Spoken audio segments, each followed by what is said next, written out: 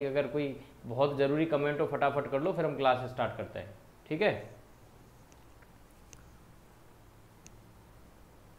Hello नमस्कार दोस्तों। Class जो है, अभी बताओ, अभी इतनी देर से जो मैं बोल रहा था, वो सुनाई दिया या अब अब क्लास अब लाइव हुई है? मुझे लगा क्लास लाइव हो चुकी है। मैं तो मैं तो भाषण दे दिया दस पंद्रह मिनट का तब से। बताइए, नमस्कार दोस्तों।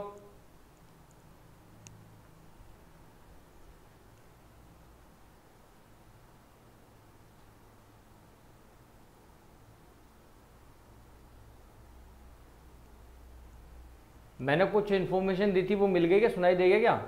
अब है लाइव क्लास पता नहीं यार, मुझे लगा शायद लाइव हो चुकी है। अच्छा अब लाइव हुई है तो मुझे जो मैंने भाषण दिया था, मुझे दोबारा देना पड़ेगा। नमस्कार नमस्कार नमस्कार। चलिए। ओके देखिए, मैं ये कह रहा था कि भाई बिल्डिंग मटेरियल अभी सब्जेक्ट चल रहा है। गुप्ता गुप्ता सीरीज़ है, गुप्ता जी सुपर हिट इसमें एक एक करके सभी सब्जेक्ट को हम कवर करेंगे। ये हमारा सेकेंड लेक्चर है। इसके अलावा एक क्लास और होती है दिन में बारह बजे, सदाबहार सिविल, जिसमें सोयल मैकेनिक्स चल रहा है। कल हमने इंट्रोडक्शन देखा था और आज हम जो है, उसमें हम देखने वाले हैं क्या? प्रॉपर्टीज़ ऑफ़ सॉइल के बारे में हम न्यूमेरिकल्स करेंगे, कुछ थोटिकल कंसेप्ट हैं, उनमें भी हम डिलीवर करेंगे थोड़े बहुत। उसके अलावा आपकी शाम को रीजनिंग की क्लास चल रही है एसएससी स्पेशल क्लास चल रही है, उसके अलावा दो क्लास और होने वाली हैं, इसी वीक के अंत में वो दो क्लास और स्टार्ट हो जाएँगी। और थ्योरी क्लास भी स्टार्ट हो रही है सिविल इंजीनियरिंग की, एकदम बेसिक से वो होगी आपकी उसमें टाइम लगेगा। उसमें थोड़ा सा टाइम लगेगा, वो भी स्टार्ट होगी, ठीक है? लेकिन अगर आप अभी कोर्स करना चाहते हैं, आप चाहते हैं कि हमें जल्दी कोर्स करना है तो आप फाउंडेशन कोर्स ले सकते हैं कंप्लीट सिविल इंजीनियरिंग के लिए। क्वेश्चन प्रैक्टिस और ज़्यादा करना चाहते हैं तो एकलव्य बैच ले सकते हैं। ठीक है? चलिए तो क्लास शुरू करते हैं और ये रहा आज का आपका पहला सवाल। क्वेश्चन नंबर ट्वेंटी वन चलिए, बताइए करेक्ट आंसर क्या होगा? क्वेश्चन नंबर ट्वेंटी वन आपकी स्क्रीन पर है। Crushing strength of a good building stone should be more than good building stone के लिए क्रशिंग स्ट्रेंथ कम से कम कितनी होनी चाहिए? कम से कम जो क्रशिंग स्ट्रेंथ है, वो 100 एमपीए है, इससे कम नहीं हो सकते। यानी कि शुड बी मोर देन कितना होना चाहिए? 100 एमपीए होना ही चाहिए। ये हमने कल भी देखा था जब मैं आपको गुड बिल्डिंग स्टोन्स के बारे में, मैं जब आपको क्या कर रहा था, बता रहा था। हाँ 12 बजे सोइल की क्लास होती है। कल भी हुई थी और आज भी होगी। ठीक है? गुड बिल्डिंग स्टोन की खास बात होती है। गुड बिल्डिंग स्टोन में एक सवाल तो आता है कि आपकी मिनिमम क्रशिंग स्ट्रेंथ कितनी हो सकती है? तो ये बिल्कुल सही है। इसके अलावा मिनिमम क्रशिंग स्ट्रेंथ के अलावा एक क्वेश्चन और आता है कि रेट ऑफ़ वियर कितनी? Rate of wear rate of wear की बात करेगा तो थ्री परसेंट जो है वो रेट ऑफ़ वियर हो सकती है। इससे ज़्यादा रेट ऑफ़ वियर नहीं होनी चाहिए ना? इससे कम हो सकती है। इससे कम रेट ऑफ़ वियर हो सकती है। आर्टिशन टेस्ट जब किया जाता है उससे, लेकिन इससे ज़्यादा नहीं हो सकती है। ठीक है? समझ गए? फाउंडेशन कोर्स लेना है, या एकलव्य बैच लेना है, वो वेबसाइट और एप्लीकेशन में मिलेगा। स्टडी बेस सिविल बॉडी के नाम से एप्लीकेशन और वेबसाइट है। ठीक है? बाकी अब बाद में बात करेंगे, अभी पढ़ाई कर लो। ठीक है? तो आपको एक सवाल तो ये याद रखना है कि भाई हमसे क्रशिंग स्ट्रेंथ पूछ सकता है रेट ऑफ़ वियर पूछ सकता है, पूछ सकता है आपसे वाटर के बारे में कि भाई वाटर कितना एब्जॉर्व भी कर सकता है। तो वाटर पाँच परसेंट एब्जॉर्व किया जा सकता है ठीक है? पाँच परसेंट वाटर एब्जॉर्ब करता है कौन? गुड बिल्डिंग स्टोन लेकिन लेकिन अगर आपके पास में कंडीशन नहीं है ना? आपके पास अवेलेबल ही नहीं है स्टोन पाँच परसेंट की तो आपके पास में मैक्सिमम जो लिमिट होती है, वो टेन परसेंट की होती है। इससे ऊपर जाते ही आप क्या कर सकते हो? आप रिजेक्ट कर देते हो किसको? स्टोन को। तो समझना सवाल किस तरह से आपसे अगर कोई पूछेगा कि परमिसिबल लिमिट क्या है वाटर की? वाटर एब्जॉर्प्शन की गुड बिल्डिंग स्टोन को तो सर पाँच परसेंट है। और रिजेक्शन की लिमिट क्या है? रिजेक्शन की दस परसेंट है। समझ गए क्या? जैसे हम एनवायरमेंट में पढ़ते हैं लिमिट पढ़ते हैं ना वाटर वाटर क्वालिटी पैरामीटर्स की तो उसमें एक cause of cause for rejection होती है, एक परमिसिबल लिमिट होती है। वैसे ही यहाँ पर भी है। ठीक है? ये आपको ध्यान रखना है। उसके अलावा एक सवाल आपसे ये भी पूछा जा सकता है यहाँ से। एक सवाल आपसे ये भी पूछा जा सकता है कि हार्डनेस और टफनेस से, किससे? हार्डनेस और टफनेस से। हार्डनेस से पूछा जा सकता है और टफनेस से। कि हार्डनेस कितनी होती है हार्डनेस 17 से ऊपर होनी चाहिए और टफनेस 19 से कितनी रखनी चाहिए? 19 से ऊपर होनी चाहिए। अब 17 और 19 के बारे में ये भी याद रखना, आपसे सवाल पूछा हुआ है कि जो स्टोन जो स्टोन रोड में काम में लिए जाते हैं, मित्रों, किसमें? रोड बनाने में जो काम में लिए जाते हैं, उनमें टफनेस कितनी जो हार्डनेस हम कितनी जाती है? कम से कम सत्रह। सत्रह से ऊपर ही रखनी, सत्रह से कम नहीं रखता। और उसके अलावा मीडियम जो हार्ड कहा जाता है, वो तेरह, वो सत्रह से नीचे आ जाते हैं, चौदह तक की गति करता है और चौदह से नीचे क्या हो जाता है? पुअर क्वालिटी की हार्डनेस आपको देखने को मिलती है। सकती है। अगर टफनेस की बात करें तो ये जो है 19 से नीचे आएगी, है ना? 19 से नीचे आएगी वैल्यू 19 से कम हो सकती है, अब 19 से कितनी कम हो सकती है? तो उसमें मीडियम लिमिट दी जाती है, ठीक है ना? कितनी लिमिट जाती है? मीडियम केवल उन्नीस से लेकर के तेरह के बीच में वैल्यू होगी, और टफनेस की वैल्यू हम जो बोलते हैं कि टफ स्टोन है या टफनेस हाई बताते हैं तो उन्नीस से ज़्यादा होगी तो ही हम हाई बताएँगे। उन्नीस से ज़्यादा होगी तो ही हम बोलेंगे ज़्यादा है, और उन्नीस से कम तेरह के बीच में अगर है तो क्या हो जाएगी? मीडियम है ना? और अगर तेरह से भी कम होगी तो हम बोलेंगे कि यार ये टफ नहीं है भाई साहब, ये टफ नहीं है। ठीक है? इतना मैंने बताया, ये समझ में आया कि सभी को? फिर एक इंपॉर्टेंट और क्वेश्चन बता देता हूँ। अभी गुप्तन गुप्ता में भी था और आया हुआ अभी सवाल। फिर मैं नेक्स्ट क्वेश्चन भी मैं बताता हूँ। इतना हो गया हो तो मुझे बताओ। यस कमेंट करो फटाफट। समय थोड़ा सा बचाने की कोशिश करेंगे।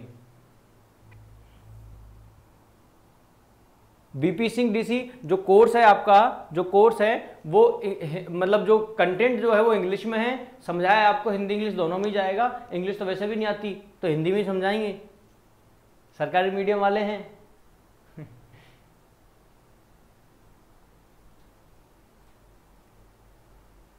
आरआरबी जेई के लिए अलग से भी कोई कोर्स नहीं है, यही कोर्स चल रहे हैं, इन्हीं में आप पढ़िए आरआरबी की वैकेंसी जब आएगी ना तो अलग से कोई क्लास वगैरह लगाएँगे? अभी यही क्लास हैं।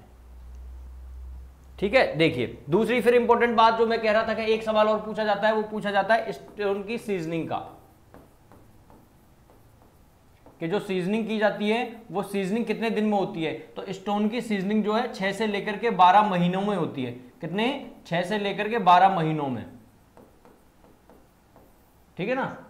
छह से लेकर के बारह महीनों में स्टोन की सीजनिंग की जाती है। ये भी इंपॉर्टेंट क्वेश्चन है, ये क्वेश्चन आया हुआ है। अब क्योंकि कॉन्फ्लिक्ट कहाँ होता है कि एक तो होती स्टोन की सीजनिंग और एक होती टिम्बर की सीजनिंग किसकी होती है? एक होती स्टोन की सीजनिंग एक होती टिम्बर की सीजनिंग तो इन दोनों में क्या है? इन दोनों में क्या है? कॉन्फ्लिक्ट हो जाता है, इसलिए ध्यान रखना, क्योंकि यहाँ पर जो वैल्यू जो देखते हैं हम टिम्बर के लिए और स्टोन के लिए देखते हैं तो इनमें डिफरेंस देखने को मिलता है। है ना? टाइमिंग का। तो हमें लगता है शायद दो तीन महीने होता होगा, लेकिन ध्यान रखना दो तीन महीने नहीं, छह से लेकर के बारह महीने इसकी वैल्यू होती है।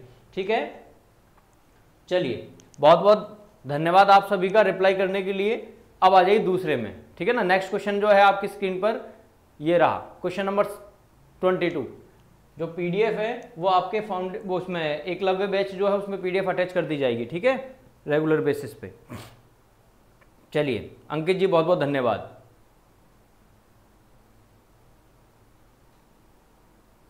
रोहित गुजर टेंशन मतलब पिछली बार डीबी में आया था इस बार भी, भी डीबी में आए इस बार आप इस बार आपका कल्याण हो जाएगा आशीर्वाद। इस बार आपका हो जाएगा पक्की बात है। मुझे नहीं पता कितने नंबर हैं आपके लेकिन मैं कह रहा हूँ आपका हो जाएगा। चलिए question number twenty two specific gravity for most of the building stone lies between देखो स्पेसिफिक ग्रेविटी अगर बोलेगा most of the building stone की तो वो होती है दो से लेकर के तीन के बीच में। तो इस हिसाब से हमारा आंसर क्या हो सकता है? दो से लेकर के तीन के बीच में देखो 1.5 और दो हुआ तो यानी कि, और ये दो से लेकर के ढाई हुआ, तीन से लेकर के साढ़े तीन हुआ, ढाई से लेकर के ये कितना हुआ? साढ़े तीन हुआ। ठीक है ना? ये क्या है? ये एक बड़ी रेंज है। ये एक बड़ी रेंज है और ये इंपॉर्टेंट है। एग्ज़ाम में सवाल यहाँ से आया हुआ है, ध्यान रखना। ये एग्ज़ाम में पूछा हुआ है। ये एग्ज़ाम में आया हुआ है, शायद आरआरबी में था किसमें था, कि ये पूछा था कि कितने से कितने के बीच में होते तो वहाँ पर क्या हुआ था? वहाँ पर जो लिमिट थी, वो दो से तीन तीन से चार, है ना, एक से दो, इस तरह से थी। तो दो से तीन आप लिमिट को बतानी, बड़ी लिमिट जब होगी, ठीक है? जब लिमिट छोटी कर देगा लिमिट को जब छोटी कर देगा तो फिर आपको बतानी कि सर, ये वैल्यू जो है, वो ढाई से लेकर के तीन के बीच में होगी। ध्यान रखना, जब ये छोटी लिमिट देगा तब। लिमिट के हिसाब से बता रहा हूँ मैं। जब लिमिट नहीं देगा एग्जैक्टली पूछे तो आप 2.6 या 2.7 जो है, या इनके बीच में 2.65 इन तीनों में से कोई भी एक वैल्यू आपको ज़रूर मिलेगी, इनमें से आपको क्लिक करना होगा। समझ गए? तीन तरह से ऑप्शन आपको मिल सकते हैं, एक ही सवाल के। या तो बड़ी रेंज हो सकती है, छोटी रेंज हो सकती है एग्जैक्टली वैल्यू होगी 2.65 जनरल वैल्यू है 2.65 इन जनरल वैल्यू है। ठीक है? 2.65 इन जनरल वैल्यू है। समझ गए? समझ गए? अच्छा ये तो बात हुई किसकी? स्टोन की। सवाल हमसे एक और पूछा जाता है, किसका? सीमेंट का, जो कि पूछा भी गया है। आप बता देंगे फटाफट से, मुझे पूरा विश्वास है, बताइए। सीमेंट के लिए हम स्पेसिफिक ग्रेविटी जो है, वो कितनी लेकर के चलते हैं, बताइए। स्पेसिफिक ग्रेविटी सीमेंट की कितनी लेकर के चलते हैं, और स्पेसिफिक ग्रेविटी की जो यूनिट है, वो यूनिट कितनी होती है, मुझे ये भी बता दीजिए। स्पेसिफिक ग्रेविटी की यूनिट जो होती है यूनिट कितनी हम जो है, लेकर के चलते हैं, ये भी बताइए। जितनी भी चीज़ें मैं आपको बोल रहा हूँ, बता रहा हूँ मोस्टली मैं वही बताऊँगा जो आपसे क्वेश्चन आ रखे होंगे या वहीं से पूछे जाते होंगे। और ऐसा, ऐसी बातें नहीं बताई जाएँगी जो कि आपको कंफ्यूजन क्रिएट करें या एग्ज़ाम में आती ना हो, फालतू का ज्ञान नहीं देंगे। आता भी नहीं ज़्यादा। कम ही आता है अपने को। ठीक है? तो तीन पॉइंट पंद्रह जो है, ये वैल्यू होती है। चलिए अब ये भी बताइए कि जब हम स्पेसिफिक ग्रेविटी कैलकुलेट करते हैं किसकी सीमेंट की तो इसके लिए कौन सा एपरेटस है, कौन सा यंत्र है वो जो काम में लिया जाता है, ये भी बताइए फटाफट। बताइए। ड्राफ्टमैन की अलग से बीपी सिंह की क्लास नहीं लगवा पाएँगे, माफ़ करना। स्पेसिफिक ग्रेविटी की कोई भी यूनिट नहीं होती है, ये एक यूनिट लेस क्वांटिटी है। यूनिट लेस क्वांटिटी है। ठीक है? आगे स्पेसिफिक ग्रेविटी से रिलेटेड दो क्वेश्चन और बताऊँगा, आगे स्पेसिफिक ग्रेविटी का भी क्वेश्चन है, ध्यान रखना। तो इसका इसका जो यंत्र होता है सीमेंट में जब स्पेसिफिक ग्रेविटी कैलकुलेट करते हैं तो कौन सा होता है? सीमेंट की स्पेसिफिक ग्रेविटी का। पूजा चौधरी जी जो हैं, वो हिल गई हैं क्वेश्चन को देखने के बाद। पिक्नोमीटर बता रही हैं। पिक्नोमीटर के अंदर सीमेंट की स्पेसिफिक ग्रेविटी कैसे कैलकुलेट करोगे बेटा? कैसे कैलकुलेट करोगे? पिक्नोमीटर में हम क्या करते हैं? सोयल मिट्टी।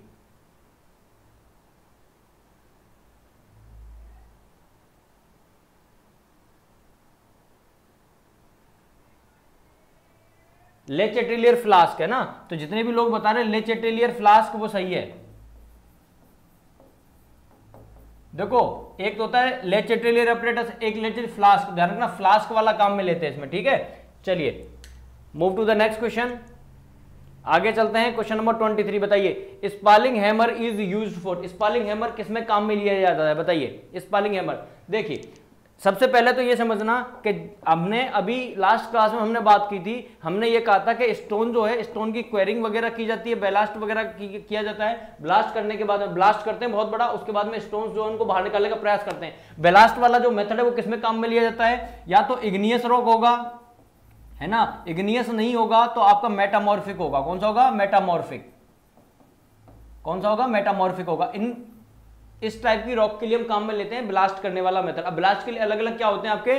टूल्स काम में लिए जाते हैं, जिनमें मैंने आपको क्वेश्चन बताया था किसके बारे में? जंपर के बारे में। लेकिन अब सवाल यह है कि जब इन सब चीज़ों को किया जाता है, इसके बाद में स्टोन को बाहर निकाला जाता है तो उसकी क्या की जाती है? ड्रेसिंग की जाती है ना? उसको कपड़े पहनाए जाते हैं। तो ये भी ड्रेसिंग की जाती है इसमें स्पेशली जो है, वो ड्रेसिंग जो है, रफ ड्रेसिंग की जाती है। तो ये जो रफ ड्रेसिंग होती है, स्पालिंग हैमर से की जाती है। क्या की जाती है? स्पालिंग हैमर से रफ ड्रेसिंग की जाती है। ये रफ ड्रेसिंग का मतलब क्या है? मोटा मोटी काट छांट कर लेना। एकदम अच्छे तरीके से नहीं करना मोटा मोटी काट छांट करना। तो स्पालिंग हैमर से वो किया जाता है क्या रफ ड्रेसिंग अगर बोलता है कि आपको सिंपल ड्रेसिंग करनी है तो उसके लिए आप मेलेट हैमर या मैश हैमर भी काम में ले सकते हो।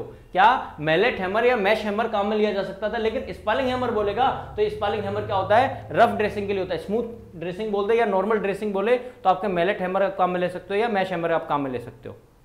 ठीक है?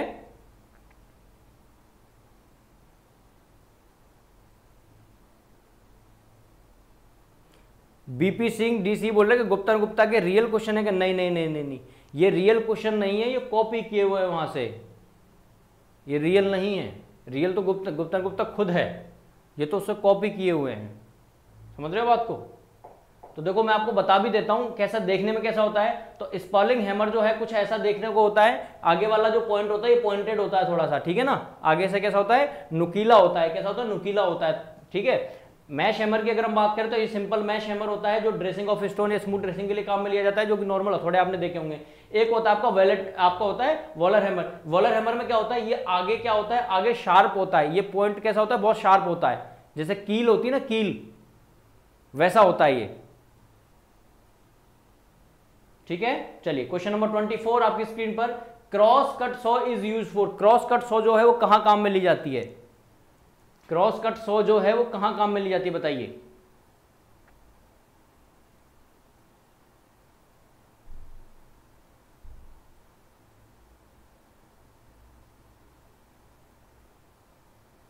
बताइए। देखिए, क्रॉस कट सो जो है, ये कहाँ काम में ली जाती है? ये क्वेश्चन एग्ज़ाम में पूछा हुआ है, इसलिए ध्यान रखना, क्रॉस कट सो का कहाँ यूज़ किया जाता है? बताइए। ऑप्शन नंबर बी बता रहे हैं। ऑप्शन नंबर, हिंदी में नहीं पता कि हैमर को उनका, उन हैमर का नाम क्या था, मैंने बताया ना? इतना नहीं पता है।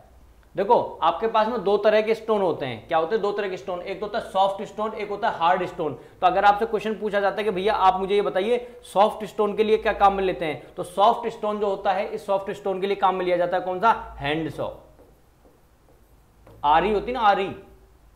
वो, ठीक है? अगर आपसे पूछा जाएगा कि हार्ड स्टोन को कट करना है तो हार्ड स्टोन के लिए क्रॉस कट सौ जो है, ये काम में ली जाती है तो इसलिए इसका आंसर क्या हो जाएगा? ऑप्शन नंबर बी जितने भी ऑप्शन नंबर बी बता रहे हैं, बिल्कुल सही है। लेकिन अगर कोई बोल देगा cutting large block of stone अगर लार्ज ब्लॉक ऑफ़ स्टोन है इसकी कटिंग करनी है तो इसकी कटिंग के लिए क्या काम लेते हैं? तो इसके लिए काम लेते हैं frame saw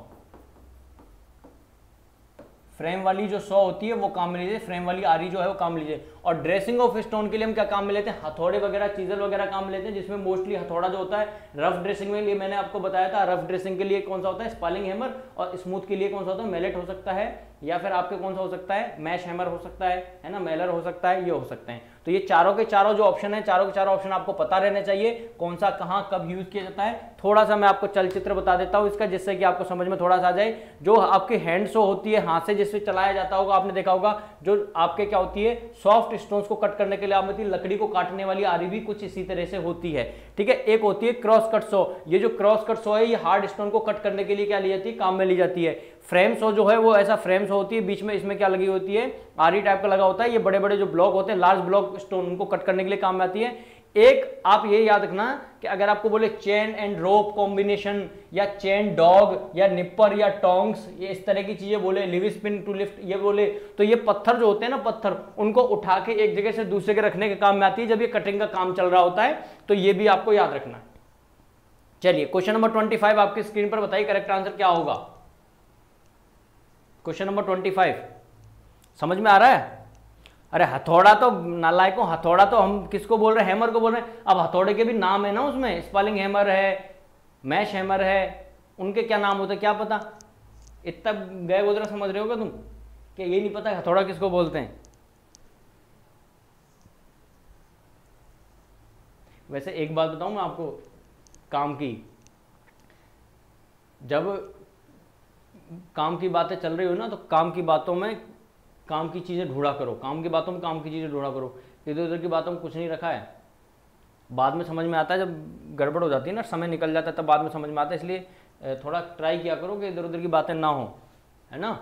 Sap wood consist of, sap wood क्या कंसिस्ट करती है? सेप वुड के बारे में आप बताइए। देखिए, अगर मैं आपको थोड़ा हल्का फुल्का स्ट्रक्चर के बारे में बताऊँ कि आपके जो टिम्बर वगैरह जो होते हैं, आपने देखा होगा, उनके स्ट्रक्चर के बारे में अगर आपने क्लासेस लिए तो आपने देखा होगा कि सिस्टम क्या होता है कि एक सेंट्रल पोर्शन होता है। सेंट्रल पोर्शन होता है, ठीक है? वो जो सेंट्रल पोर्शन होगा लॉग का, उसे हम क्या कहते हैं? उसे हम कहते हैं क्या?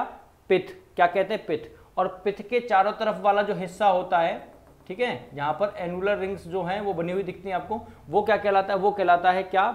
हर्टवुड क्या कहलाएगा? हर्टवुड और उस हर्ट वुड के बाहर फिर वापस से एनुलर रिंग्स बनी हुई होंगी, है ना? बहुत सारी रिंग्स बनी हुई होंगी, है ना? गैप होगा। उसके बाद में फिर आपकी और रिंग्स बनी हुई होती हैं थोड़ी डिस्टेंस पर, ठीक है? तो इनके बीच में जो एरिया होता है, ये वाला जो एरिया जो बनेगा, यहाँ पर क्या बनेगा? ये वाला जो एरिया बनेगा, कि हार्ट वुड के बाद वाला। हार्ट वुड के बाद वाला क्या होता है? ये क्या होता है? सेप वुड होता है। जिस सेप वुड की बात की जा रही है और इस सेप वुड के बाद में क्या होता है? इसके बाद में आपके क्या होता है कि इसके बाहर फिल रिंग्स बनी हुई होती हैं, जहाँ पर आपके क्या होती हैं? बार्क वगैरह जो होती हैं कैम्बियम लेयर वगैरह होती है। तो पहले कैम्बियम लेयर होगी और उसके बाद में क्या होगी? बार्क होगी। अब ये जो बार्क है, यानी कि आप समझ सकते हो, जो छाल होती है पेड़ की, अब ये बार्क जो होती है, एक इनर बार्क होती है और एक आउटर बार्क होती है, ठीक है? तो ये इस तरह का स्ट्रक्चर होता है, हल्का फुल्का, आपने ये समझा? अब यानी यानी यहाँ से ये समझ में आया कि यार सेप वुड जो होता है ना सेप वुड ये किस किस के बीच में हो सकता है? भैया ये होगा किसके बीच में? एक तो हार्ट वुड क्या है? हार्टवुड है वो, और एक है कैम्बियम लेयर है ना?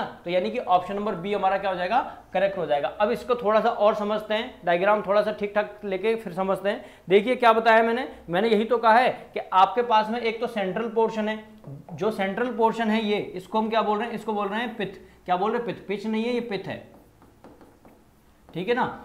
और उसके बाद में जो एरिया है ये वाला ये वाला जो एरिया होता है, उसके जस्ट बाद वाला उसे हम क्या कहते हैं? उसे हर्टवुड कहते हैं। और हर्टवुड जो होती है हमारी, उसके ऊपर वाला जो एरिया होता है ये, उसे हम क्या कहते हैं? उसे हम सेपवुड कहते हैं। उसके बाद में आपकी कैम्बियम लेयर होती है। और कैम्बियम लेयर के ऊपर क्या होता है? बार्क बना हुआ होता है, जिसे हम इनर बार्क और आउटर बार्क कहते हैं। इसमें दो तरह की रिंग्स काम में ली जा रही हैं। कौन सी? दो तरह की रिंग्स काम में ली जा रही है। देखिए, एक तो है रिंग ये वाली।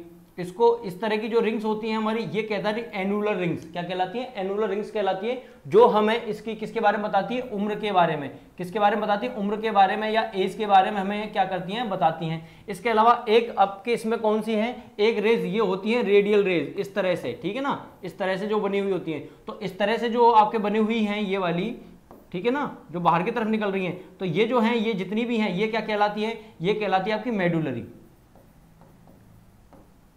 ठीक है ना? मेडुलरी रेज जो है, ये मेडुलरी रेज जो है, ये कहलाती है। ठीक है? तो ये जो स्ट्रक्चर है, ये आपका क्या है? ये माइक्रो स्ट्रक्चर है किसका? किसी भी टिम्बर के अगर आप लॉग कट करेंगे तो लॉग में जो है, ये माइक्रो स्ट्रक्चर जो है, ये माइक्रो स्ट्रक्चर आपको देखने को मिलता है। किसी को कोई समस्या हो तो बोलो, फिर मैं यहाँ से एक इंपॉर्टेंट चीज़ जो है, वो मैं बता रहा हूँ, जो कि परीक्षा में आपसे पूछी जा सकती है। अगर इतना हो गया तो बोलिए यस फिर मैं आपको एक चीज़ बताता हूँ।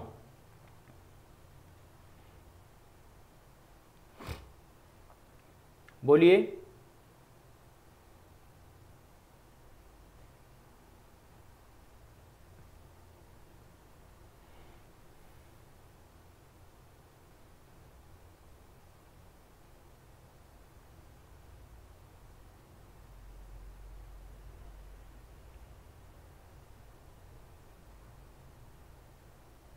चलिए देखो अब पॉइंट जो बता रहा हूँ ध्यान से समझना। अगर आपको कोई बोलता है कि बताइए रिजिडिटी जो होती है रिजिडिटी इस पूरे के पूरे लॉक की अगर हम बात करें, इसमें जितनी भी मैंने चीज़ें बताई उनमें से रिजिडिटी की बात करें या ड्यूरेबिलिटी की बात करें, कौन देता है? तो रिजिडिटी और ड्यूरेबिलिटी देने का काम कौन करता है? हर्टवुड हर्टवुड हमें रिजिडिटी देता है और हमें क्या देता है? ड्यूरेबिलिटी देता है। अगर कोई पूछे कि इस पूरे के पूरे स्ट्रक्चर में जो मैंने बताया, इसमें से कौन है जो आपके रिसेंट ग्रोथ को बताता है? तो सेप वुड हमें बताता है रिसेंट ग्रोथ को।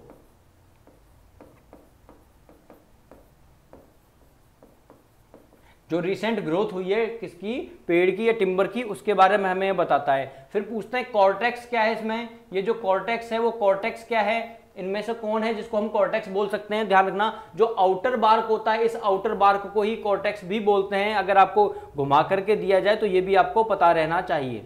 घुमा करके अगर कहीं क्वेश्चन दे दो तो ये भी आपको पता होना चाहिए। ठीक है? चलिए, बहुत बढ़िया। तो दो दो, तीन चीज़ें थी जो वो भी मैंने आपको बता दी अब बताइए आप ये which of the following trees yield hardwood इनमें कौन से पेड़ हैं जो हमें हार्डवुड देते हैं?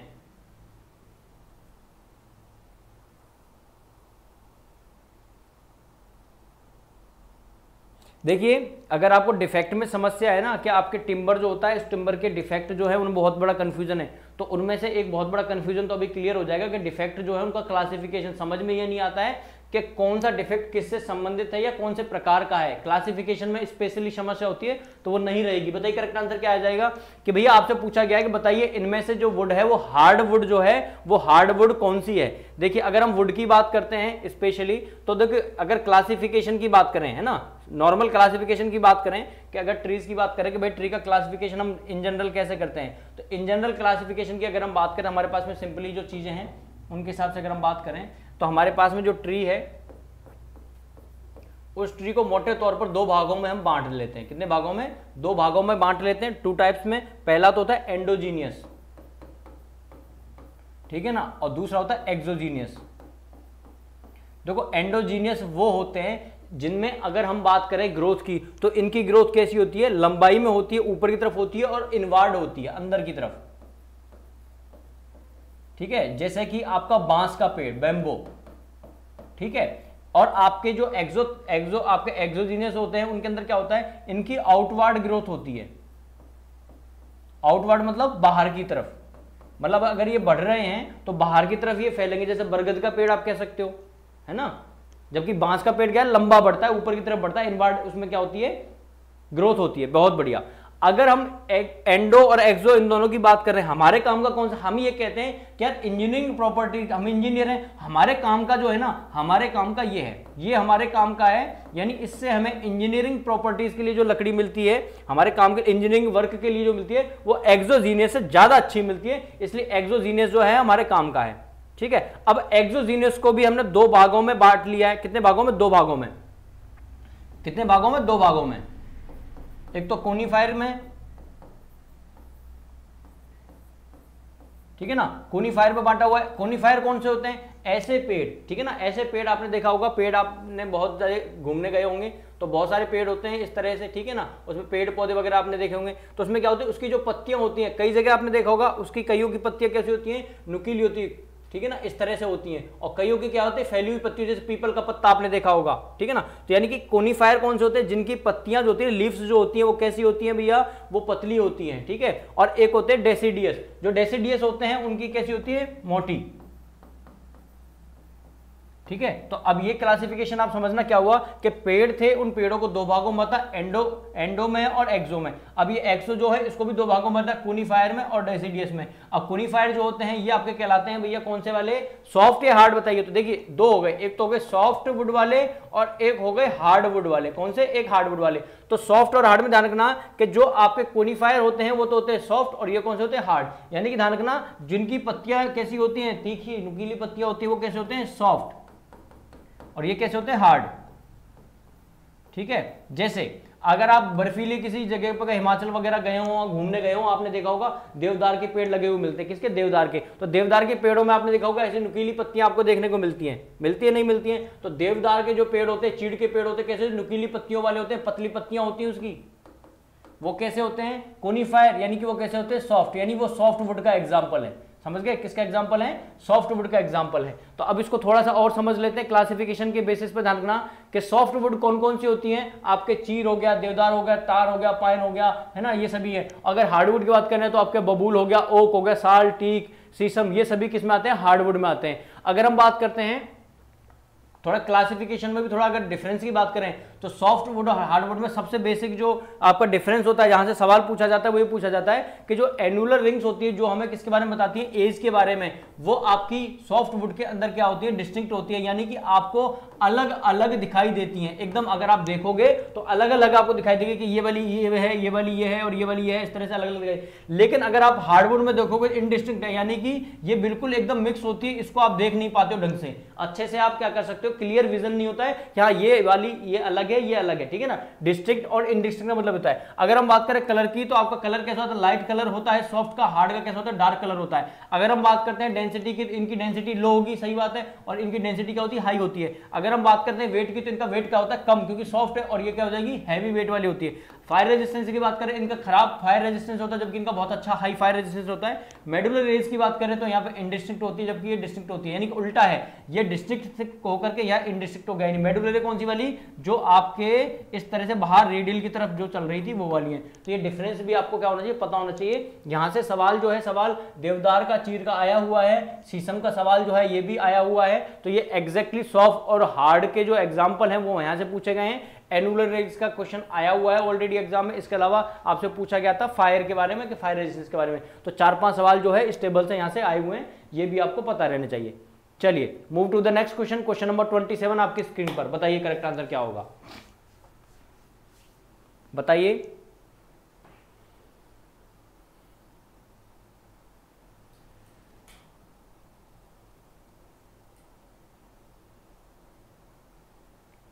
हाँ हिमांशु बता रहे हैं ट्रिक से भी याद कर सकते हो। एंडो जो है एंडो को मतलब इनवर्ड अंदर की ओर ग्रोथ हो रही हो एक्सो का मतलब क्या हो जाता है? एग्जिट यानी कि बाहर की ओर। बाहर की ओर जिनकी ग्रोथ होती बहुत बढ़िया। हाँ ऐसे अगर आपके पास कोई नॉलेज वाली चीज़ हो तो शेयर किया करो।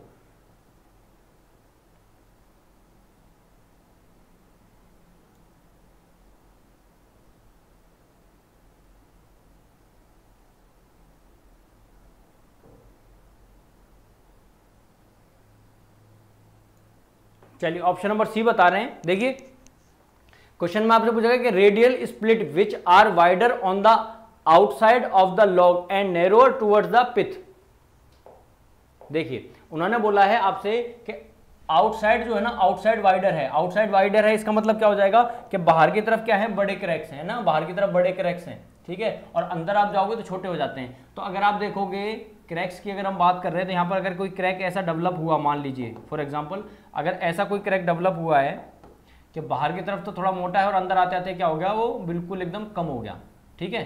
ऐसा कोई क्रैक डेवलप हो रहा है। ठीक है? ऐसा कोई क्रैक डेवलप हो रहा है, ठीक है? सेंटर की तरफ़ बढ़ते हुए बाद में ना।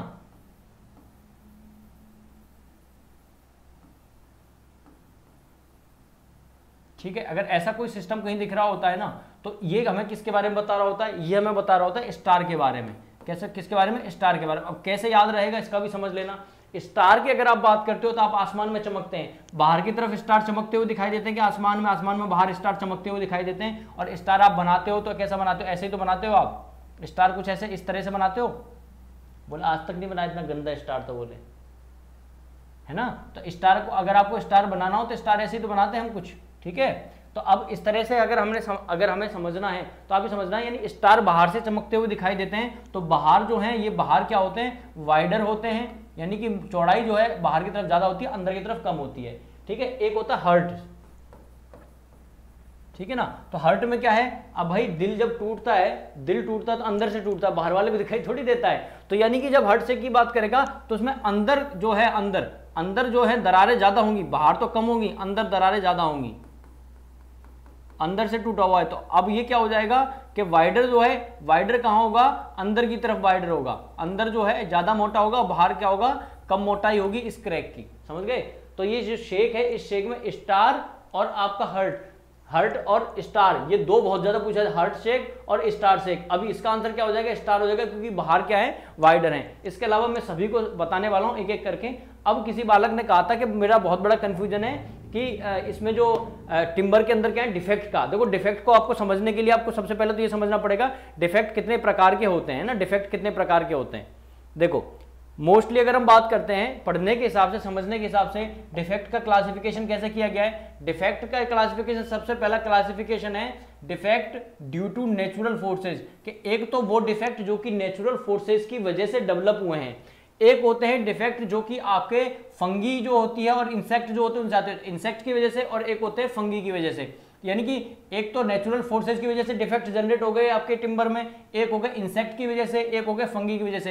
एक होता है आपने सीजनिंग की और सीजनिंग की वजह से कोई डिफेक्ट जनरेट हो गया। एक होता है कन्वर्जन जब आप उसका कन्वर्जन कर रहे हैं तो कन्वर्जन की वजह से हो गया। यानी कि मोटे तौर पर आपके पाँच प्रकार से डिफेक्ट आ सकते हैं। कितने प्रकार से? पाँच प्रकार से। जिनमें नेचुरल फोर्सेज हो सकता है इंसेक्ट हो सकता है फंगी हो सकता है सीजनिंग हो सकता है कन्वर्जन अब सवाल यह है कि चलिए गुरुजी, अब ये बताइए, अगर ऐसा ही है तो अब ये बताओ कि नेचुरल फोर्सेज की वजह से कौन कौन से होते हैं? तो नेचुरल फोर्सेज की वजह से सबसे पहला जो आपका बेसिक तौर पर जो आता है डिफेक्ट वो आता है नॉट नॉट जो है, सबसे पहला डिफेक्ट आपको देखने को मिलता है नेचुरल फोर्सेज की वजह से क्या होता है? इसमें ये डिफेक्ट जनरेट होता है. इसके अगर आप देखें, जब इसकी ग्रोथ हो रही होती है जब ये बड़ा हो रहा होता है नेचुरल फोर्सेज का मतलब हो गया आंधी तूफ़ान वगैरह, आंधी तूफ़ान वगैरह.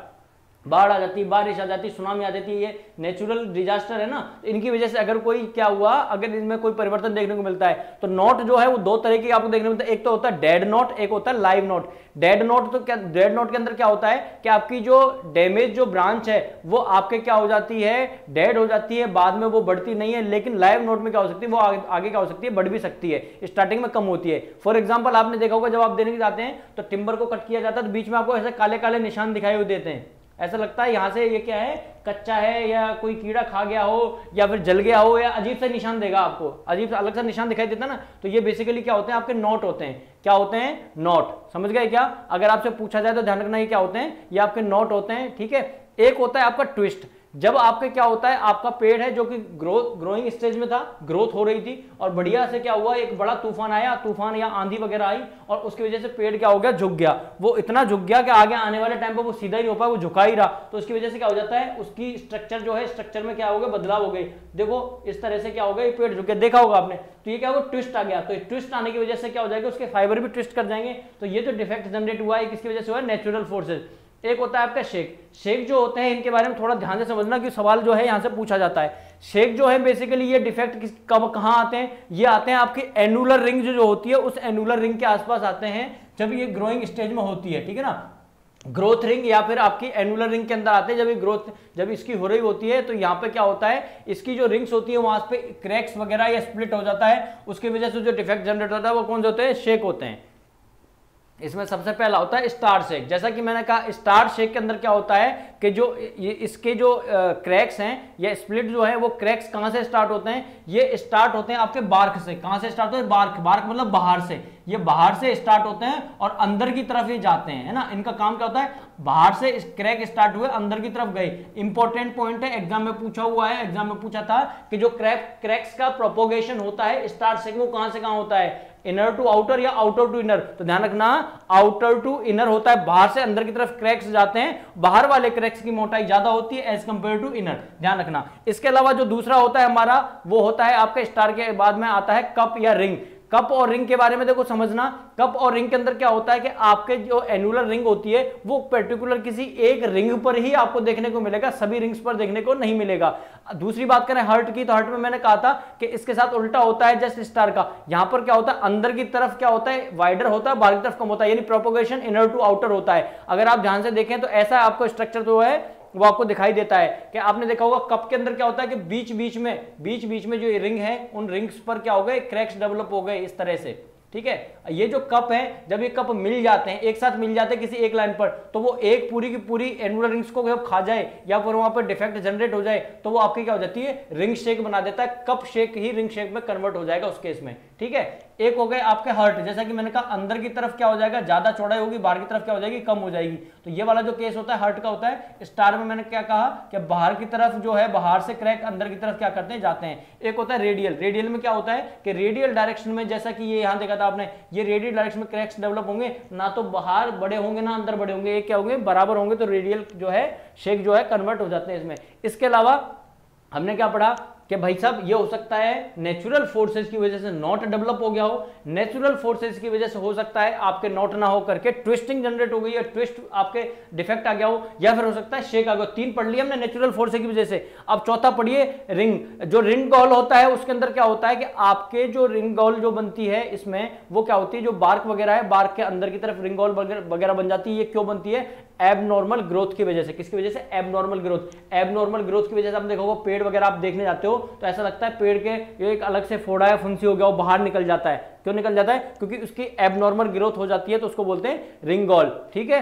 इसके अलावा एक होता है फॉक्सीनेस ये फॉक्सीनेस क्या होता है? जब आपकी टिम्बर जो है रेड येलो या फिर कैसे हो जाए रेडिस कलर की हो जाए, है ना? उसमें स्टेन जो है स्टेन डेवलप हो जाए तो उसका कारण क्या होता है? फॉक्सीनेस होता है। ये क्यों डेवलप होती है? ये डेवलप होती है जब आपके वेंटिलेशन जो है, वो वेंटिलेशन की कमी हो और जब आपका मेच्योरिटी टाइम चल रहा हो, जब मेच्योर होने वाली टिम्बर और उस समय पर उसको प्रॉपर वेंटिलेशन नहीं मिल रहा है तो फॉक्सीनेस आता है। सवाल पूछा जाता है कि वेंटिलेशन की कमी की वजह से कौन सा डिफेक्ट आ सकता है? नेचुरल फोर्सेस की वजह से। नेचुरल फोर्सेस जो हैं, उनकी वजह से। तो वहाँ पर क्या होता है? फॉक्सीनेस होता है। अब वेंटिलेशन की वजह से ड्यू टू फंगी की बात नहीं कर रहे हैं हम। ड्यू टू फंगी की बात नहीं कर रहे हैं। हम बात कर रहे हैं किसकी? फॉक्सीनेस की।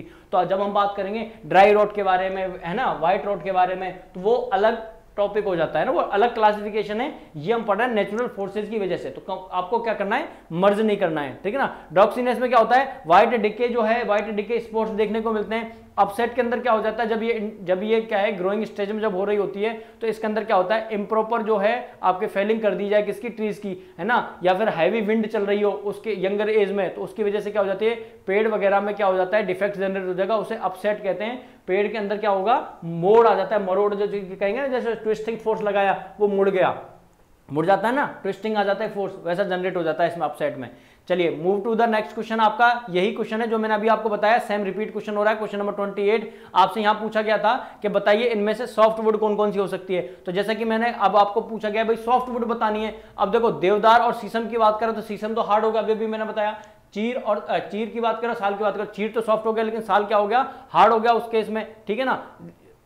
क्या पूछा गया? Which of the following pair of the yield soft wood है ना? सॉफ्ट वुड के बारे में तो पूछा गया। बोथ बताने, बोथ बोथ दोनों होने चाहिए, ठीक है ना? तो एक हो गया, साल हो गया टीक हो गया, चीर हो गया, देवदार हो गया। क्वेश्चन शायद अधूरा नहीं है क्या ये? सॉफ्ट वुड एंड हार्डवुड का पूछा था शायद इन्होंने। ऐसा था क्या?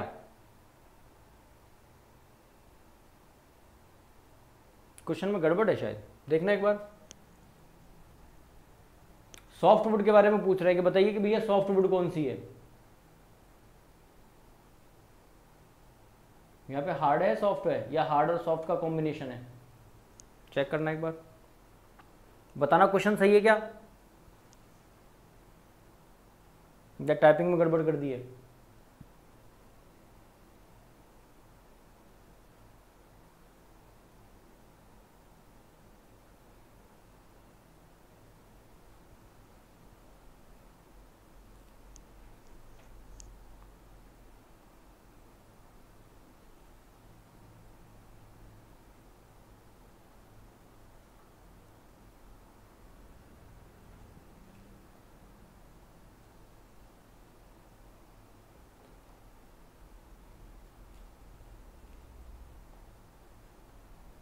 बताओ जल्दी बताओ, सही है क्या? कुछ गड़बड़ है इसमें शायद?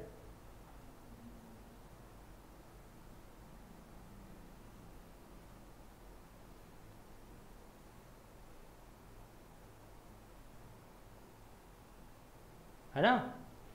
हम्म क्वेश्चन सही है, ऑप्शन गलत है ना? ऑप्शन गलत लिखा हुआ है वहाँ पे। दोनों सॉफ्ट ही पूछे हाँ। तो आंसर फिर क्या हो जाएगा? आंसर बदल जाएगा आंसर फिर डी होगा। वही तो मैं सोच रहा हूँ आंसर लिख रखा है सी साल और टीक ठीक है? पूछ सॉफ्ट रहा है तो कुछ ना कुछ तो गड़बड़ है ही। और साफ़ साफ़ यहाँ पे लिखा हुआ है कि चीर और देवदार जो है, आपके वो तो है सॉफ्ट के एग्ज़ाम्पल साल और टीक इसके हार्ड के एग्ज़ाम्पल है ना? ठीक है? तो यहाँ पे मैं पीडीएफ जब मैं दूँगा तो करेक्ट कर दूँगा। यहाँ पर ये जो लिखा हुआ है, ये थोड़ा गलत है यहाँ पे ना? सॉफ्ट अगर पूछेगा, दोनों के दोनों सॉफ्ट का एग्ज़ाम्पल कौन है? चीर और देवदार है, ये दोनों के दोनों, जो थोड़ी देर पहले मैंने कहा भी था कि ये सॉफ्ट के एग्ज़ाम्पल है, ठीक है? ठीक है? हाँ ये इसको सही कर लेना, ठीक है? तो अभी ये सेम ये सेम चीज़ मैंने आपको थोड़ी देर पहले बताई भी थी। चलिए क्वेश्चन नंबर ट्वेंटी नाइन आपकी स्क्रीन पर, बताइए। Question number twenty nine question number twenty nine correct answer बताइए, क्या होगा? क्वेश्चन नंबर ट्वेंटी नाइन आपकी स्क्रीन पर। जनता जवाब चाहती है, बताइए।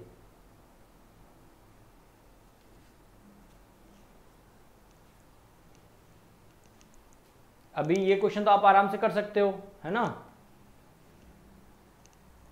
पीडीएफ कहाँ मिलेगी, शिव कुमार जी पूछ रहे हैं। बताओ, पीडीएफ कहाँ मिलती है? स्पोर्ट्स गुड्स बनानी है, यानी कि स्पोर्ट्स की लकड़ियाँ बनानी है।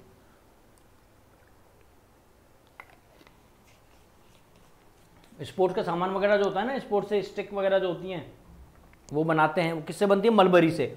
मलबरी जो है, इस मलबरी से बनाई जाती है तो ऑप्शन आपका क्या हो जाएगा? ऑप्शन नंबर ए इसके अलावा और भी इंपॉर्टेंट कुछ हैं, उनके बारे में पता होना चाहिए, जैसे कि बबूल। बबूल की प्रॉपर्टी होती है, ये स्ट्रॉन्ग होता है हार्ड होता है ड्यूरेबल होता है और टफ होता है। इसलिए बबूल का काम क्या होता है? एग्रीकल्चर के जो इंस्ट्रूमेंट होते हैं, वो बनाने के लिए बबूल की लकड़ी काम में ली जाती है। ठीक है?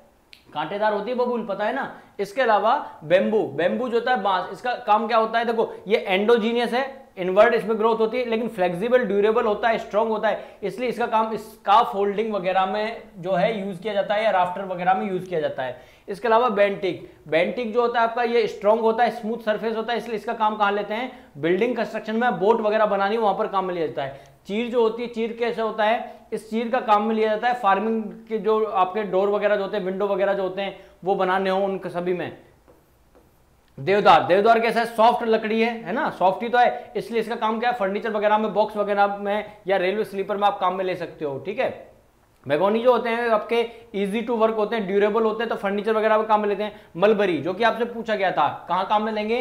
इनको काम में लिया जाता है। आपके अगर कोई, आपको स्पोर्ट्स की कोई भी चीज़ बनानी हो ना स्पोर्ट्स से रिलेटेड कोई कोई आपको बनाना हो, बैट वगैरह बनाना है, हॉकी बनानी है, कुछ बनाना है है ना? तो उनको बनाने के लिए काम में ले सकते हैं, बास्केट वगैरह बनाने के लिए काम में ले सकते हैं, है ना? ये स्ट्रॉन्ग होते हैं टफ होते हैं, है ना? इलास्टिक प्रॉपर्टी होती है। शीशम का कहा काम लेता है? शीशम बहुत स्ट्रॉन्ग और टफ होता है। इनको हाई क्लास फर्नीचर अगर आपसे कोई पूछे हाई क्लास फर्नीचर बनाना है तो वो किससे बनेगा? शीशम से बनेगा।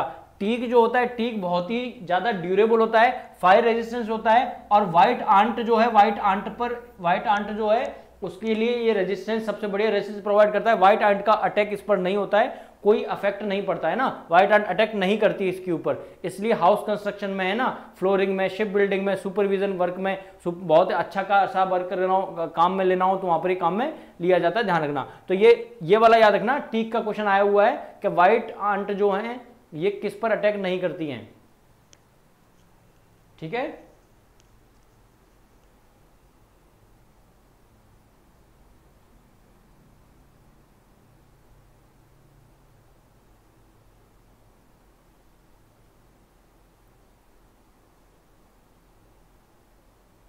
डिजिटल वर्ड पूछ रहा है कि स्काफ होल्डिंग जो होती है, उसका फोल्डिंग में क्या होता है कि वर्टिकल जो है ना, वर्टिकल वर्टिकल मेंबर काम में लिए जाते हैं, सपोर्ट करने के लिए उन्हें क्या कहते हैं? बताइए उन्हें क्या कहा जाता है?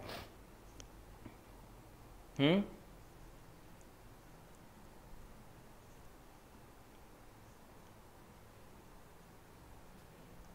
अगर अगर ऐसी चीज़ें नहीं पता ना आपको कंस्ट्रक्शन टेक्नोलॉजी से रिलेटेड कि भाई शटरिंग क्या होती है शोरिंग क्या होती है होल्डिंग क्या होती है सेंटरिंग क्या होती है फॉर्म वर्क क्या होता है है ना?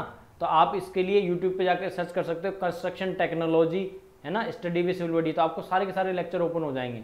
कंस्ट्रक्शन टेक्नोलॉजी को बहुत अच्छे से डिटेल में पढ़ाया हुआ है। आपसे बोला गया sheesham is used for decorative wood work और फिर लिखा हुआ है sheesham can be polished to an excellent finish तो सीसम जो होता है, इस सीसम को हम क्या कर सकते हैं? बहुत ही बढ़िया तरीके से, अच्छे तरीके से क्या कर सकते हैं? इसकी पॉलिशिंग वगैरह कर सकते हैं। सत्य वचन बिल्कुल सही बात है। इसकी पॉलिशिंग वगैरह जो होती है, बहुत बढ़िया तरीके से की जा सकती है और इसका आप कहाँ काम में ले सकते हो? डेकोरेशन वगैरह के लिए या फिर अच्छी जगह पर आप इसको काम में ले सकते हो। तो ऑप्शन नंबर ए जो है इसका कि ए और बी दोनों के दोनों सही है, उसका करेक्ट एक्सप्लेनेशन है, सही है। सीसम जो है डेकोरेटिव वर्क वगैरह के लिए आप काम में ले सकते हो वुड वर्क में, या हाई क्लास फर्नीचर बनाना है हाई क्लास फर्नीचर में काम में ले सकते हो। क्यों? क्योंकि ये स्ट्रांग होता है टफ होता है और ड्यूरेबल होता है। ठीक है? और फिनिशिंग बहुत अच्छी प्रोवाइड की जाती है।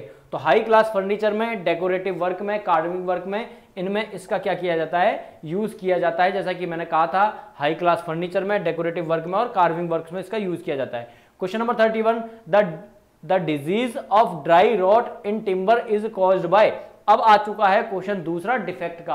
अभी हमने डिफेक्ट का क्वेश्चन कौन सा देखा था? हमने देखा था कि नेचुरल फोर्सेज की वजह से कौन से डिफेक्ट आते हैं। अब आपसे पूछा जा रहा है कि बताइए ड्राई रॉट जो है क्यों आता है? ड्राई रॉट ड्राई रॉट क्यों आता है बताइए? ड्राई रॉट का आने का कारण क्या है?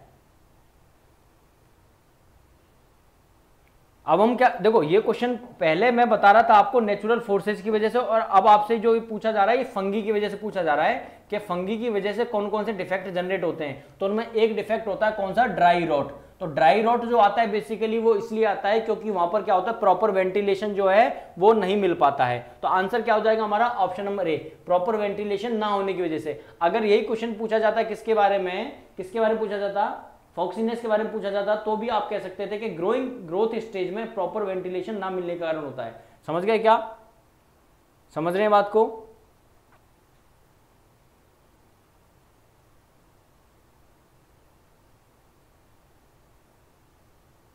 ठीक है?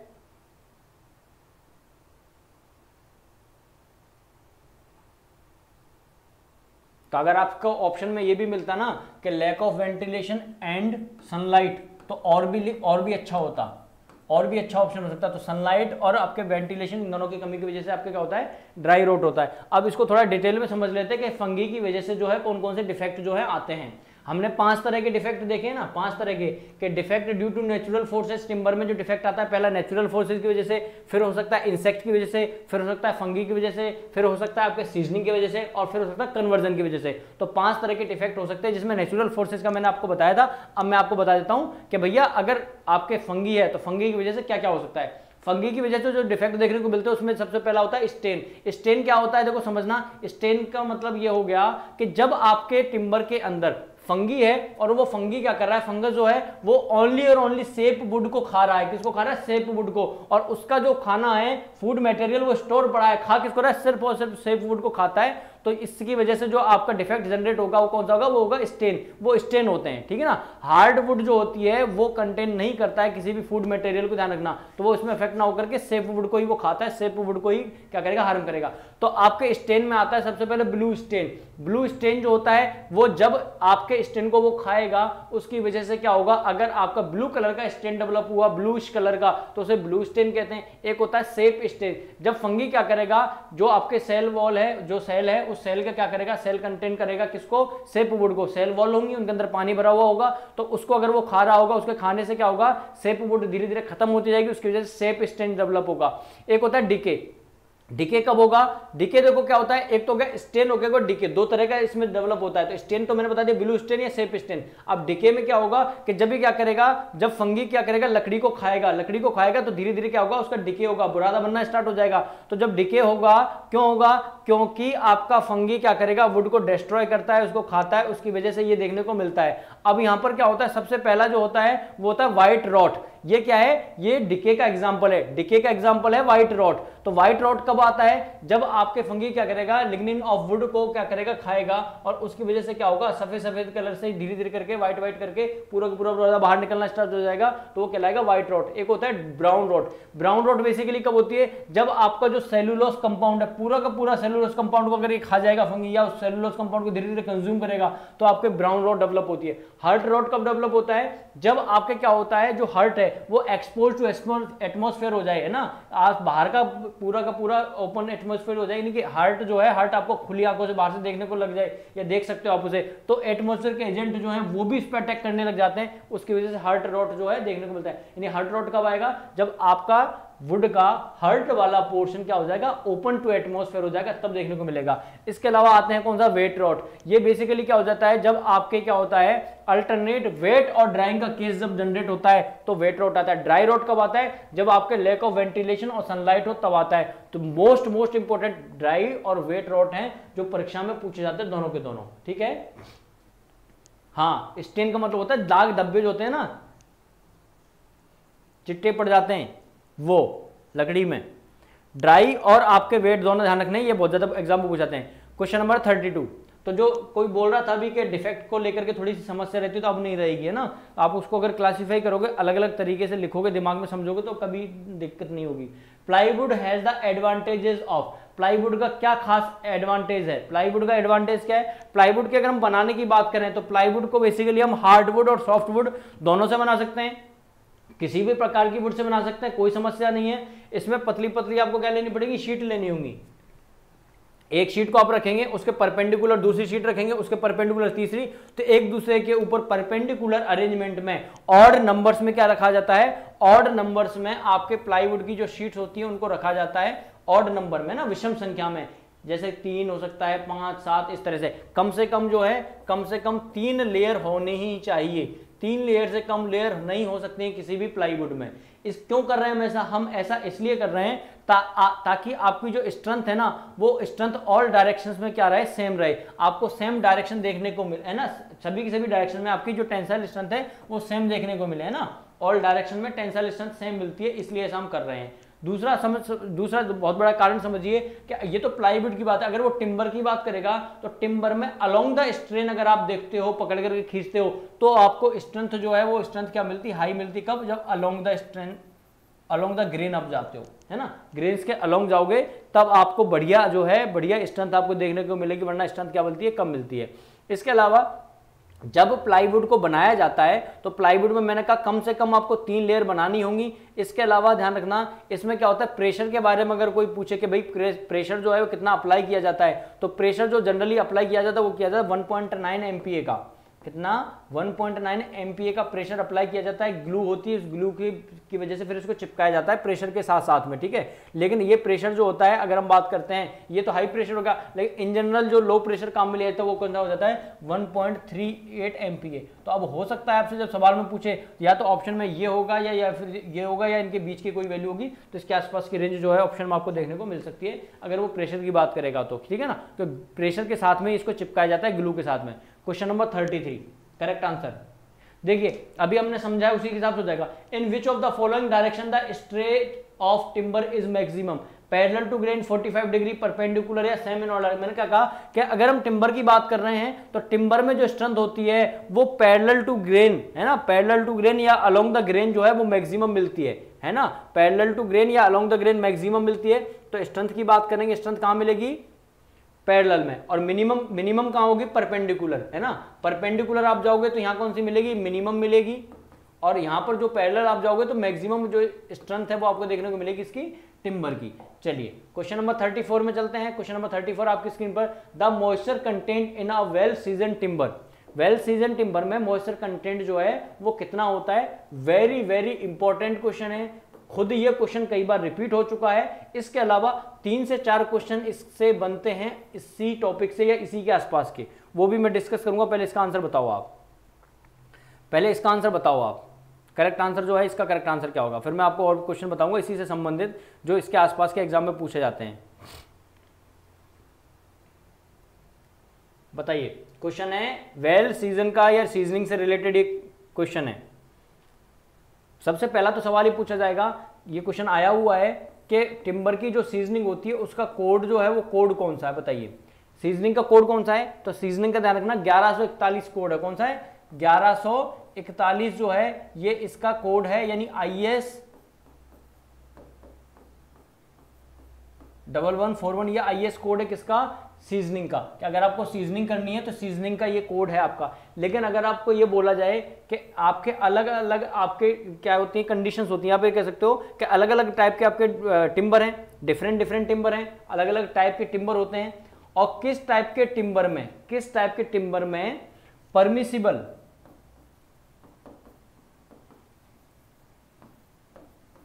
परसेंटेज मॉइस्चर होना चाहिए। ये किस कोड में लिखा हुआ है? तो ये लिखा हुआ है आपके I S two eighty seven में। I S two eighty seven है और ये है उन्नीस सौ तिरानवे वाला कोड है ना? उन्नीस सौ तिरानवे वाला कोड है। तो अब ये कोड समझ लेना। इस 1141 में तो ये लिखा हुआ है कि सीजनिंग अगर करनी है तो सीजनिंग कैसे होती है?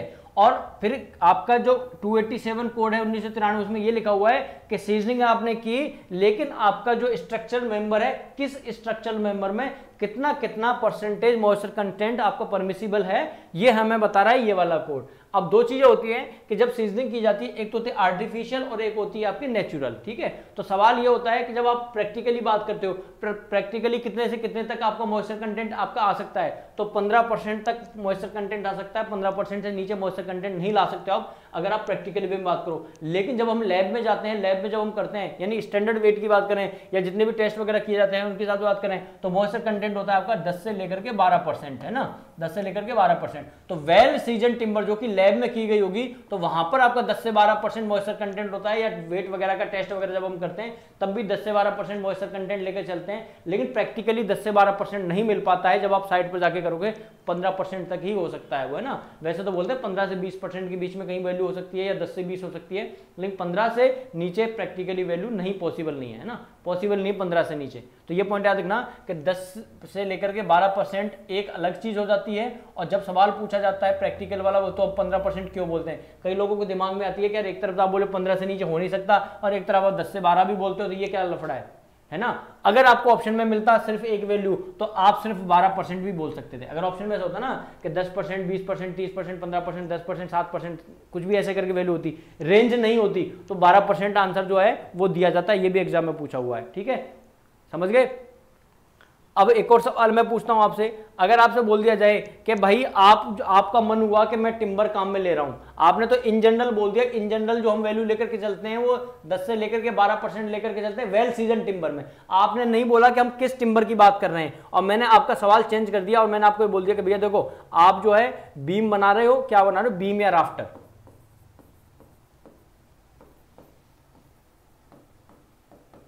बीम एंड आफ्टर बना रहे हो, बताओ मॉइस्चर कंटेंट जो है कितने से कितने के बीच में होगा? 10 से 12 परसेंट तो तब होता है जब आपके पास में क्या हो वेल सीज़न टिम्बर हो लैब में आपने जाकर के लैब में चेक किया, कोई आपको स्पेसिफिक दिया होना अब मैं स्पेसिफाई कर रहा हूँ कि मैं उससे बीम बनाऊँगा और राफ्टर बनाऊँगा, बताइए मॉइस्चर कंटेंट कितना होना चाहिए। As per I S two eighty seven उन्नीस वाला जो कोड जो था, उसके हिसाब से बता रहा हूँ मैं। ये क्वेश्चन एग्ज़ाम में आया हुआ है। रिसेंट क्वेश्चन जो है, इस कोड से यहाँ से पूछे जा रहे हैं, इसकी जो टेबल नंबर वन है, उससे।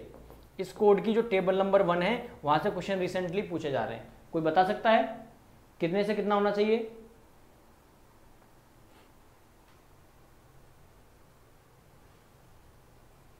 आठ से सोलह परसेंट ऑप्शन आ रहा है मेरे पास में अभी।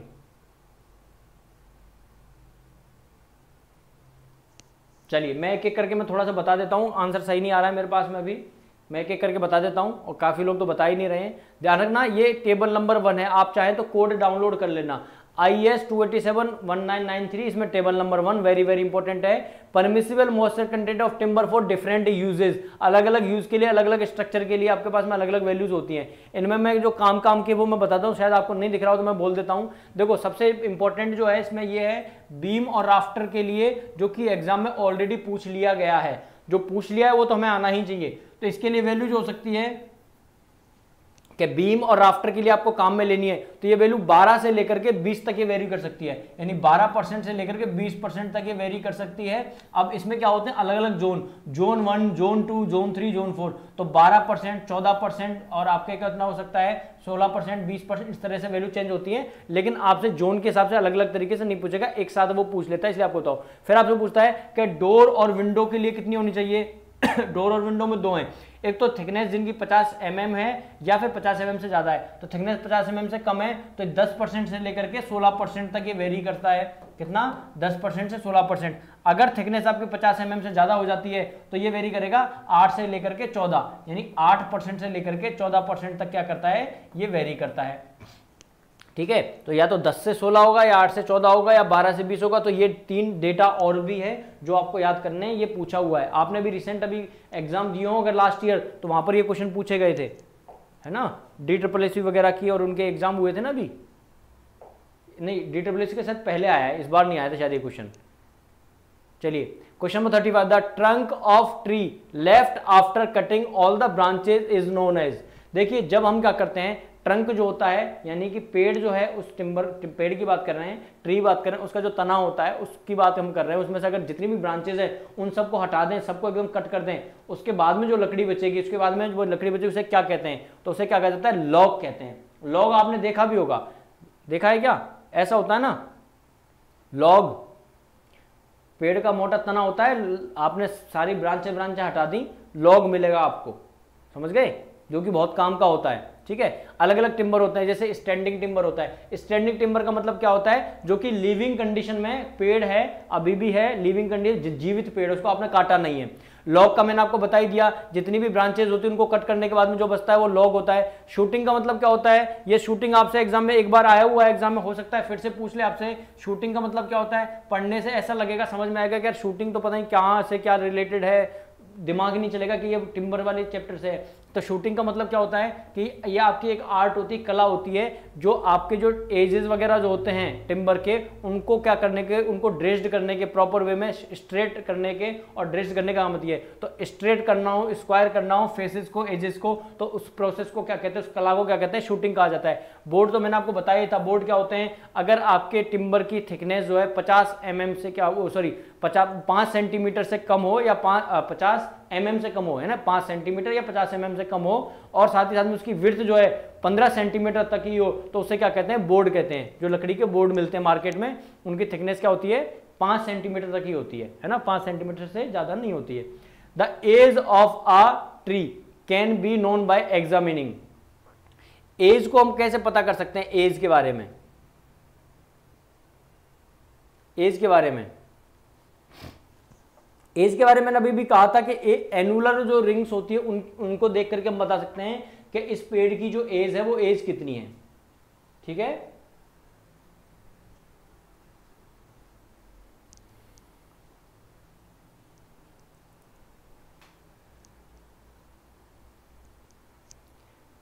एनुअल रिंग्स को देख करके बता सकते हैं एज कितनी है। और आपको मैंने कहा भी था सॉफ्टवुड में हार्डवुड में डिस्ट्रिक्ट कब होगी इन डिस्ट्रिक्ट कब होगी, ये क्वेश्चन भी आपसे पूछ सकता है।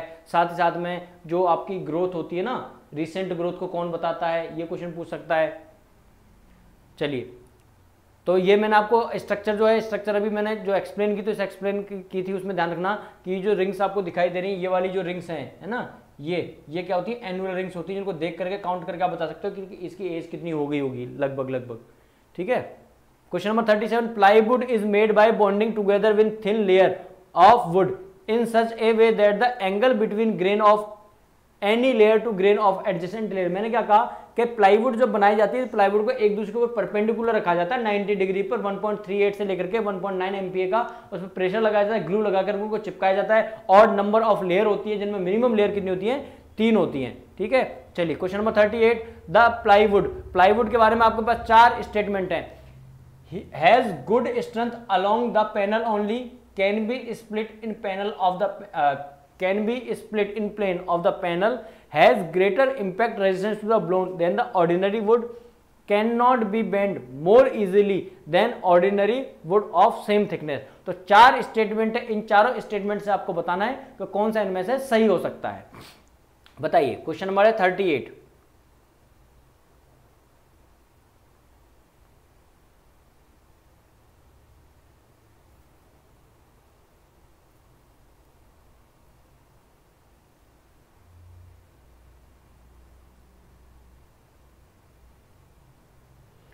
तो देखो भाई एक एक करके अगर आप स्ट्रेंथ पढ़ोगे तो आपको समझ में आएगा कि गुड स्ट्रेंथ आपके अलोंग द पैनल ओनली नहीं। सभी के सभी डायरेक्शन में गुड स्ट्रेंथ होती है।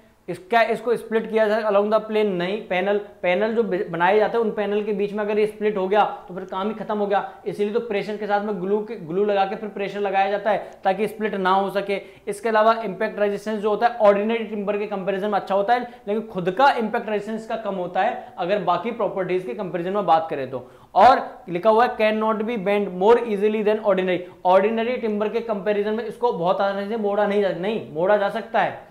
टिम्बर को, इसको क्या क्या किया जा सकता है? इसको बिल्कुल मोड़ा जा सकता है।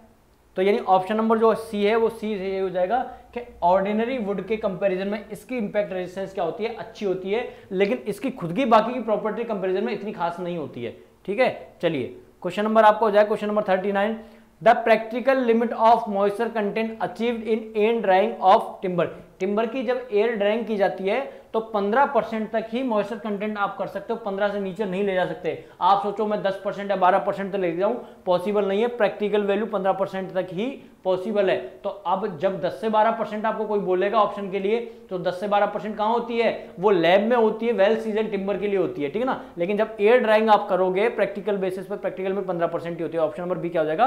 करेक्ट हो जाएगा। क्वेश्चन नंबर आपका फोर्टी है। अब ये थोड़ा सा मैं आपको बता देता हूँ, इसका डेटा जो है, ये डेटा आप ऐड कर लेना अपने नोट्स में। ये इंपॉर्टेंट इंपॉर्टेंट है क्योंकि ई बुक में ये ऐड नहीं है। और आपके नोट्स में शायद मे भी ना ऐड हो। कि अगर आपके फ़र्स्ट क्लास टिम्बर है तो फ़र्स्ट क्लास टिम्बर के लिए एज क्या होती है? ध्यान रखना, आपके तीन तरह की क्लास होती है। First class second class third class first class के लिए एज कम से कम दस। कम से कम 10 है ना? 10 साल से ऊपर ही होगी। तो एवरेज लाइफ क्या होगी? आपकी 10 या 10 से ज़्यादा होगी। लेकिन सेकंड क्लास की अगर हम बात करें तो इसकी एज 5 साल से लेकर के 10 साल के क्या होती है? बीच में होती है। और थर्ड क्लास टिम्बर की एज जो होती है, वो क्या होती है? 5 साल से क्या होती है? 5 साल से कम देखने को आपको मिलती है। तो ये जो है, ये आपको अपने जो नोट्स है, उस नोट्स में ऐड ज़रूर कर लेना, या जो मैंने ई बुक दी उसमें भी ऐड कर लेना। बाकी ई बुक में आप क्या है फर्दर आपको जो मिलेगी अपडेट करके तो उसमें भी इसको ऐड करवा दिया जाएगा। ठीक है? चलिए। बहुत बहुत धन्यवाद। थैंक यू सो मच आज की जो क्लास है, वो आज की क्लास यहीं खत्म होती है। नेक्स्ट क्लास में फिर हमारी मुलाकात होगी, यानी कि कल। अभी आपकी 12 बजे जो है, जैसा कि मैंने कहा था सोल मैकेनिक्स की भी क्लास है, ठीक है? चलिए, बहुत बहुत धन्यवाद। थैंक यू सो मच जय हिंद, जय भारत, जय जवान, जय किसान।